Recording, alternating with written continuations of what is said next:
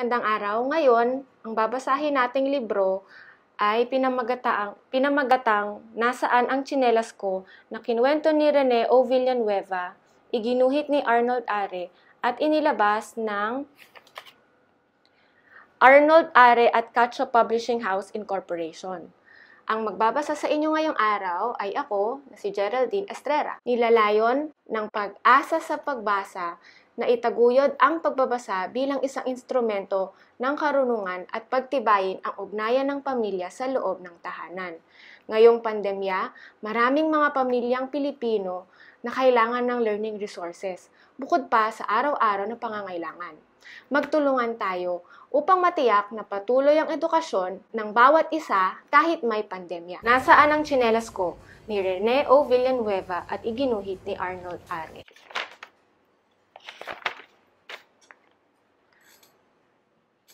Kapag nasa loob ng bahay si Tanya, lagi niyang nakakalimutang magsuot ng tsinelas.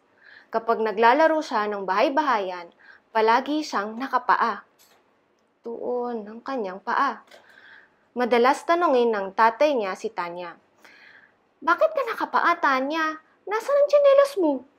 Sakalang maaalala ni Tanya na ang mga tsinelas niya ay naroon lang pala. Laging ganun si Tanya. Lagi niyang nakakalimutang isuot ang mga tsinelas niya. Kaya lagi ring madumi ang mga paa niya. Kahit sa labas ng bahay, kapag nakikipaghabulan siya, hinuhubad ni Tanya ang tsinelas niya. Dalawang lumilipad na tsinelas. Isa, dalawa. At pati ang mga langgam ay nagsisitakbuhan na hanggang sa malimutan niya kung saan niya ilalagay o inilagay ang kanyang tsinelas. Naku, malaking problema yan. Dahil dito, nagtampo ang mga tsinelas ni Tanya. Nandoon sa sulok ang dalawang tsinelas na nagtatampo. Isang araw, nagtago ang mga tsinelas niya. Nasaan na yung tsinelas ko? Tanong ni Tanya. Hinanap niya nang hinanap ang mga tsinelas niya. Napagod na siya sa kakahanap pero talagang mahirap makita ang mga tsinelas na nagtatampo. Hindi alam ni Tanya na nang mga sandaling iyon, maraming di nakikitang dumi at mikrobyo sa sahig ang tuwang-tuwa sa nangyayari.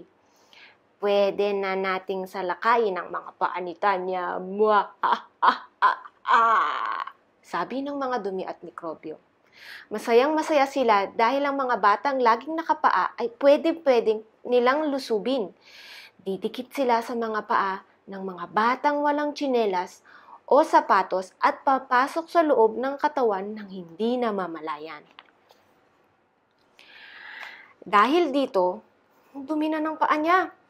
Maaaring magkasakit ang mga batang hindi nagsusuot ng tsinelas. Mwah! Ah! Ah, sabi ng mga dumi at mikrobyo. Nandoon ang mga dumi at mikrobyo. Hindi lang ang dumi at mikrobyo ang masaya. Sa labas ng bahay, marami ring kontrabida ang tuwang-tuwa sa mga batang nakapaa. Lapit pa, lapit pa, nyak, nyak, nyak. Sabi ng mga bubog at tinik.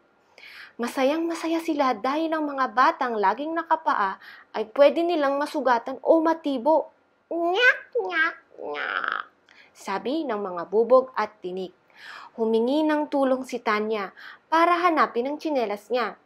Sinabi ng tatay ni Tanya na kailangang laging nakatsinelas ang mga bata para maligtas ang mga paa sa dumi at mikrobyo at saka sa mga bubog o tinik na nasa paligid. Mabuti na lang, nakita nila ang mga tsinelas ni Tanya. Isinuot ni Tanya ang mga tsinelas niya at tinandaan niya kung bakit kailangang laging magsuot ng tsinelas.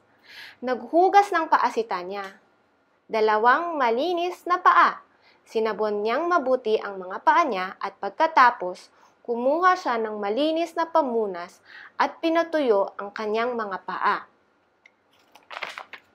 At mula noon, hindi na niya nakalimutang isuot ang kanyang mga tsinelas.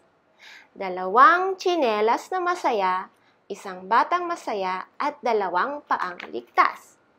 Muling naglaro si Tanya, suot na niya ang mga tsinelas niya, kaya may proteksyon na siya laban sa mga salbahing dumi at mikrobyo at sa mga pilyong bubog at tinik. Mula noon, inis na inis ang mga dumi at mikrobyo at bigong-bigo ang mga bubog at tinik. Pero tuwang-tuwa naman ang mga paa at tsinelas ni Tanya. Sana ay nagustuhan niyo ang kwento natin ngayong hapon. Kung gusto ninyong maging parte ng pag-asa sa pagbasa, maaari kayong magbigay ng kahit anumang aklat sa pamamagitan ng pag-click sa link sa baba ng video na ito. Kung kailangan nyo rin ng mga libro, i-click nyo lang din ang link. Magbigay ng libro, humubog ng pag-iisip, may pag-asa sa pagbasa. Sana ay nagustuhan ninyo ang kwentong binasa natin ngayong araw.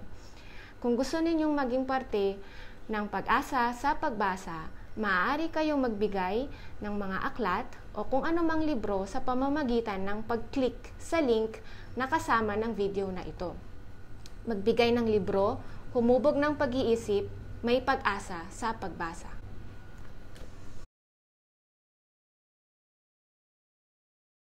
I hope you enjoyed our story for today. Again, if you want to donate any books that you have, you may click the link below. Have a good day.